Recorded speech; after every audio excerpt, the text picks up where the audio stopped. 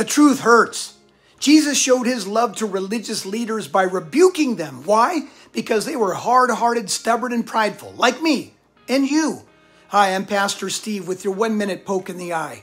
A Pharisee invited Jesus over for dinner. Before the first tortilla chip was consumed, Jesus said he and all his friends were full of greed and wickedness. Then he called them foolish, then offered unasked for advice give to the poor. Woe to you, Pharisees!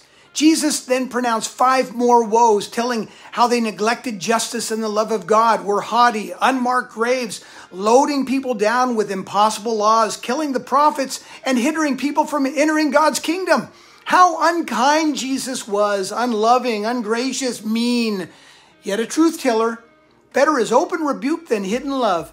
Oh, how Jesus loved those hypocrites. How many of your Christian friends live unchristian lives with bad theology and even worse obedience? Love them. Don't be nice tolerating sin when God has placed you in their midst to warn them of the wrath to come. So what if you're disliked? Jesus said, I will show you whom you should fear. Fear him who, after your body has been killed, has authority to throw you into hell. Yes, I tell you, fear him. I hope this eye poke helps you to see God a little more clearly today.